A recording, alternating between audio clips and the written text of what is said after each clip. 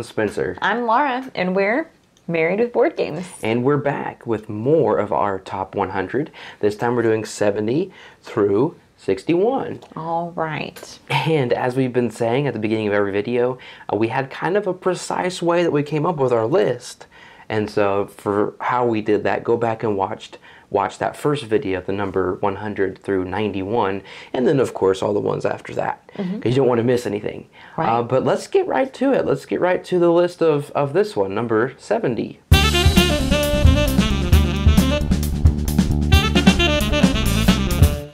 Kicking us off at number 70 from Fantasy Flight Games is Fury of Dracula. Third edition. Right. Yes. Um, as soon as we, I mean, when we started out in the hobby, we didn't know that much about the publishers and, and how all that worked. And um, as we started learning more and whatnot, I kind of became fascinated by this idea of games kind of almost going extinct from Mm, yeah. um, no one being able to publish them anymore. Yeah. And um, when we saw that, when we heard about that, about Fury of Dracula, um, was not going to be put a- out again, and we saw it at um, our FLGS, I went, we need to get this Mm-hmm. Yeah, well, you had your eye on it for a while. I had. It, it, it's it's in my wheelhouse as far as the theme. You like Victorian horror, kind of. Yes, Mm-hmm. um, and it, it just sounded fascinating to me, and I'm so glad we got this game. Yeah. It's been so worthwhile. Yeah. Um, hidden movement, I like it. I mean, the one versus many aspect of it. Combat, Yeah. all Trying to- sorts of stuff. Trying to find Dracula. I've never actually played Dracula. You have though. You did a pretty good job leading us all across Yeah, the country. I, I held y'all out for Yeah. like three weeks. I, I think for me it's a little bit longer than what I'd like, but it's still a fun experience. Mm-hmm. yeah, we do have to set aside quite a bit of time to get this one to the table. Yeah. But when we do, I feel like it's worthwhile. yeah, we have a great time with it. Mm-hmm. So that's why it's on our list at number 70.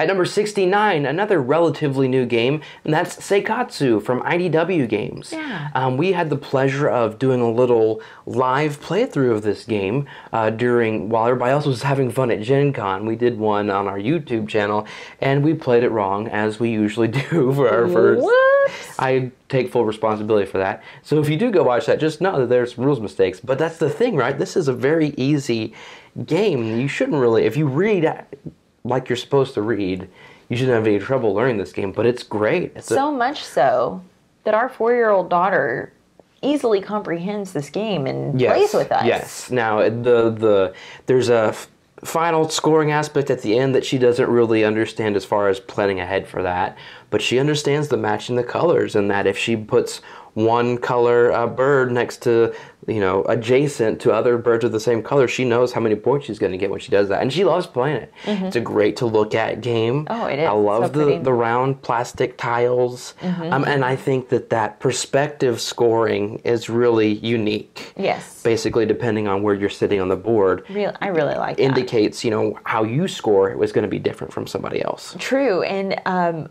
that is it's true in all aspects of the game because this is a one to four player game. When it's- yeah yeah yeah, yeah if you play teams Right. Mm-hmm. And um, even in solo mode, it's it's interesting Mm-hmm. going about that of um, playing them down the right way um, because you as the solo player you can score the birds as Mm-hmm. you lay them down and then at the end you combine the other two pagodas together oh interesting to be the opponent's score when you're scoring the flower rows very interesting against yours. If you're doing a hard mode, you don't score the birds. You only do the flowers. But if Mm-hmm. You're going kind of easy, which is what I did, um, you score the you can score the birds as well. It, it's it's interesting to Yeah. play in any player count. Um, so we really enjoy it, and it's also easy to carry around Yeah. and quick very quick to yeah teach, and Quick- that's really why it's on our list. Seikatsu from IDW. Number 68 on our list is one that has been near and dear to me since the first time we ever played it. And even though we don't even own it we don't even own it if our friends do, but every time we get together, I always insist they Mm-hmm. bring it, and that's a la carte from Fantasy Flight Games. Now, this was back in the days of Fantasy Flight when they weren't doing strictly like IP games like Lord of the Rings stuff and Star, Star Wars. Wars. and Cthulhu style games. This is when they had quite a larger variety of types of games they were putting out, and I kind of miss those days. Oh, I know, especially if they were all around the caliber of mm-hmm. this. Lots of fun. There, um, the dexterity elements are something that are different than what I'm used to, and it was one of the first cooking games that I had ever played, and I love the components Yeah. of this. Um, the Frying pans are so cool. The frying pan, the the stove And the stoves, yeah. They're so neat, um, and even though it's annoying at the end of the game having to put all the granules Yeah. back into the spice. But it's so worth it to shake those shakers and getting so frustrated when the ones that you want don't come out. when how about when nothing comes out? when nothing That's comes out. That's really frustrating. Yeah. Mm-hmm. Let me say. Um, but it's it's a lot of fun, and Yeah. it's it's really fun when you introduce this to new players and you start pulling out those components, and they're going, "Oh my Well, gosh!" and it's so unique. Like it, it. A lot of dexterity games are similar in the fact that either like you're stacking something or you're flicking something. Um, but this one, it's like it's very specific to the theme of the game. Oh yes, they go Mm-hmm. so well together, fit hand in hand, and I really Yeah. Mm-hmm. appreciate that. Um, and so that's how it got to our list at number sixty-eight, and that's a la carte. For number 67, we're going to talk about another large group game, and that is The Resistance from Indie Boards and Cards. Now, um, this is the one where it's like, you know, a team of basically um, Rebels. rebels, essentially, yeah, trying to overthrow the government or whatever. Right. But then there are some hidden spies that you don't know. I mean, they know who they are, but nobody else knows, and they're trying to derail the missions that you're going on. Pretty straightforward game.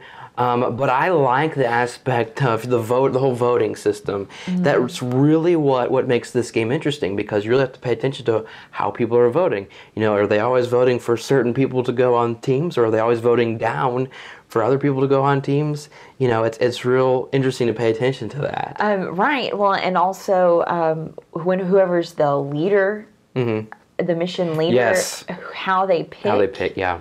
who who's on the team. It's oh my goodness, I just get so tense. You do. and you nervous do. playing this game. I always feel like I'm making the wrong decision. I feel like I'm a horrible spy, you know, making those missions fail. I think I'm so obvious. I'm trying not to be, but then I probably make it even worse. Oh Well, my gosh. I like too that as a spy, a lot of times you don't even have to do anything real, um, you know, real involved. Sometimes you just have to sit back and let everybody else kind of fight amongst themselves. Because as long as you don't, you know, pass those missions, you know, well, even you- approving the team to go on the mission. Right. If, if the team doesn't get approved after round after round after round, you could easily tank the game like that. Mm-hmm. So there's a lot going on in this in this game, and, and, and we really enjoy it, and that's the resistance. All right, we've got another Lovecraft Cthulhu themed Mm-hmm. game on our list here, and that's Tides of Madness from Portal Games. Um, an excellent two player game, drafting. drafting, yeah. That's how you taught me Yeah. Um, drafting. Yeah, um, and it's I think it does it extremely well, and I like that that variable set collection essentially. Oh, I know. Basically, you have to decide almost from round to round if you're going to stick with what you're going for or kind of abandon ship and maybe you know change your tactics as far as what cards you're keeping and passing back and forth. Mhm, I could see how going into it, you would think it'd be very easy Mm-hmm. to just, es- especially as as few cards as there Mm-hmm. are in the game, to decide I'm always going to go for these kinds of cards. Right. But you can't. Right. With the with the way the drafting Right. works. Well, then sometimes you get stuck with those insane cards. Oh man. and you have to you take get those tokens. Yes. That's that's another tricky thing too, is having to decide, okay, if I keep this card, it's really good for me, but it also has those tentacles, which means I'm gonna get an insanity But then token. sometimes you get a card that the person with the most insanity tokens you get a point, Yeah. or you get a point per token, Something like that, One yeah. of those, and um, sometimes it's work. It can work in your Yeah. favor. well, this yeah, and this is a great. It's a small footprint. Excellent, like you said, excellent two player, excellent couples game, really, because there's not really a whole lot of take that in your face t- style of confrontation. And and who doesn't love to drive their other their significant other insane? I do that on a daily basis. Um, but and the artwork is simply. Oh my goodness. I mean, as beautiful as tentacled monsters can be, um, it's a gorgeous looking game. I know. I, I can't get over the artwork on that, Yeah. and um, and it, I think it well it's well deserving of the 66th spot on our list, and that's Tides of Madness. Well, let's continue the madness theme and go to number 65, the Arkham Horror card game. Yes. Now, we like Arkham Horror, but there's just, I think, it's, it's a little bit dated and a little bit too much for it to make our list. And I think this does a good job of sitting in its place. Okay, yeah. Um, this is an again. This is a you know when you get the core set, it's a two-player game, one to two player. We of course played it together, went through the campaign, the initial campaign, um, and that was a lot of fun. Um, so hard. It was very hard. We had to redo a couple things. Yeah. I would see that if this was a little bit more of a sustainable game, this could be higher on our list. But the problem is with it being that campaign style and having to buy more sets of cards to continue the story, Mm-hmm. you know, we're just not going to get around to it as much. Number one, for the cost, Right. and number two, for the time too to commit to it. Right. Um, and we've also found that you know between sessions, if we took too long between, we'd have to spend a lot of time We have to reteach going back through the rule book. It's, Yes. it's it's not an overly complex game, but there's just kind of a lot of stuff going on. That, Yeah, I- I'll I'll go ahead and say it that I think there are just some things that are not as straightforward Yeah. in this game as there are in some of the other Right. Fantasy Flight uh, Lovecraft Right. Mythos games, um, as far as like combat Mm-hmm. and, and damage inflicted and whatnot. I, I just don't think it's all as straightforward. Right. Um, one of my favorite things about the game, though, is instead of rolling dice for your checks, you're digging into that bag and pulling out tokens, and they have a modifier on it, and based on what's on that, that you compare that with your your skill, and that is what your your amount of damage or whatever that you do, and and so I love that. You know, it's it's so nerve wracking reaching Oh, into that bag. I feel like it's more nerve wracking than rolling a die, because there are so many tokens in there, and the- Depending on your difficulty, that's Yeah. something I like is that you can how variable that can be for your difficulty of deciding what Mm-hmm. Yeah. goes in there. Yeah, but this does a great job with the theme. Um, it's Oh, very, yes. very immersive, I think, and an excellent option if you do like that style of, of game where you're you're continuing on the story, but having to buy, cards essentially. Mm-hmm. And So, I think they do a great job writing the flavor text. Yeah. Um, the the story as you progress through Mm-hmm. each of those kind of stages and whatnot. I mean, I I agree that that is so immersive. Yeah. And I feel like I'm really in that Yeah. story the way they the way they write well, it. and lots of kind of decisions. There, there are almost some choose your own adventure style decisions too going on. So we really like it, and that's why it's number sixty-five, Arkham Horror: The Living Card Game. Next on our list from Plan B Games at number 64 is Century Spice Road. Um, we first got to play this at Dice Tower Con, and I I was so happy we got to do this. Oh yeah, we were enamored because- with it. Yes, it's um, such a great engine builder. Oh, I, I think it's it could be my go-to like introducing new gamers to engine building Mm-hmm. Yeah. Um, with the way that that works. And um, I like that you can take those resources and exchange them for others. Yeah. That is so helpful if you're just not finding the cards to be able to get those other resources that are higher, that are worth more. Um, being able to kind of build up on the Yeah. less expensive ones to be able to trade them in and get something that's more expensive. I really enjoy Yeah. that mechanism. Well, and it's I- I think the thing I like most about it. Well, I like the size of the cards. There are a couple of things I like. I like the size of the cards. I like the bowls that comes with it. Mm-hmm. Thanks for the bowls. But I love the quick turns.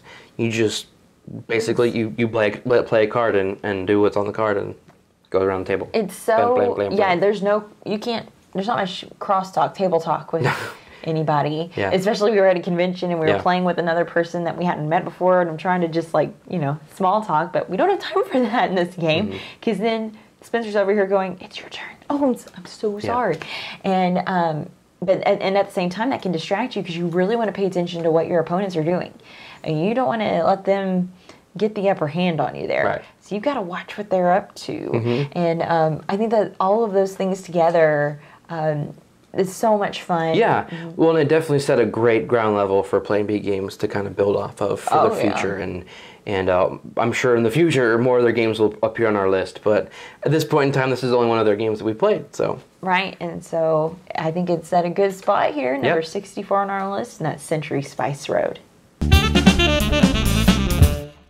At number 63 is another Red Raven game, um, and this one is Klondike Rush. Now, this one's, again, this is another pretty brand new game. Yes. And this one feels a lot different than any other of the Red Raven games Mm-hmm. that we've played.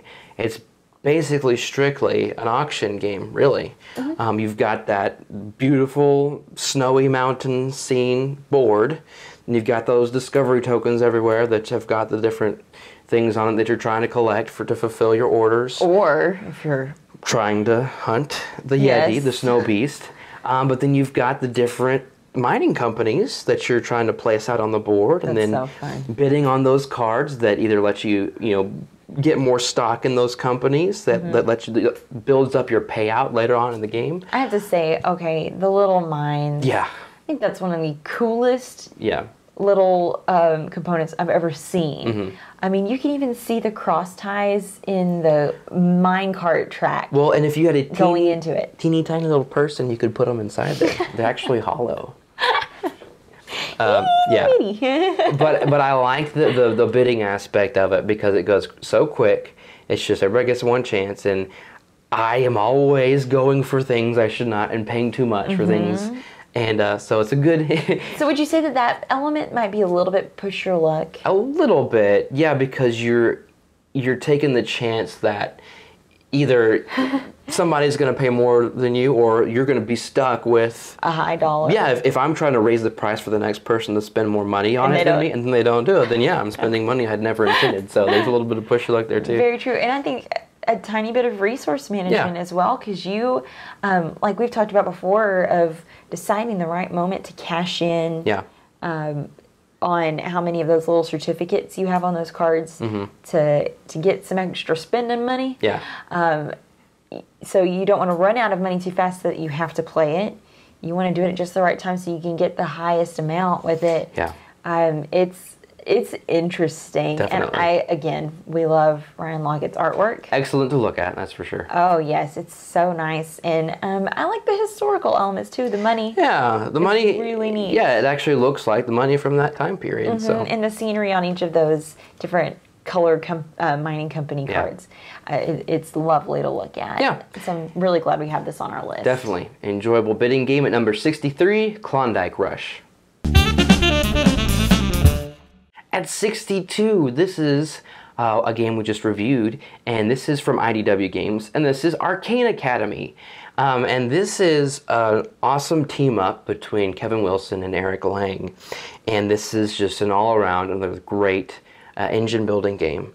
Um, a nice little theme there with these, it's a school for kids learning spells and stuff, not And it's Harry not Potter. Hogwarts. yeah, not Hogwarts. Um, but I really like the tile linking aspect of this Mm-hmm. thing, where you put down the tile on your mat, and then you know you you if they're linked to other tiles, you can you have you to ex- you have to exhaust the one that you're doing the action for. But if it's linked to other tiles, you can do those without having to exhaust them, and you can come back and do them later. Mm-hmm. Nice little um, chaining element going on there. That's Yes. really cool. Um, and then I like just just how everything works together as far as those exhausting the tiles and almost feels worker placementy. Mm-hmm. And um, it's, it's a really fun, simple uh, to teach game. Well, and I like the wide range of the assignments Yeah. that you can fulfill. Of um, I think they are so they level the playing field really well. Something that's super powerful might not be that um, expen- uh, worth as many points at Yeah. the end of the game, and, and vice versa. Yeah. It's nothing that like there's one particular kind of card that if you get that one, you're going to win the game. I mean, it's different each time. I feel like It's very balanced for sure. extremely. Yeah, and the component quality is great. Those giant shards are really cool, Mm-hmm. and those dials and the player mats. Oh yes, um, I really enjoy this. Great, great, fun game. Number 62, Arcane Academy.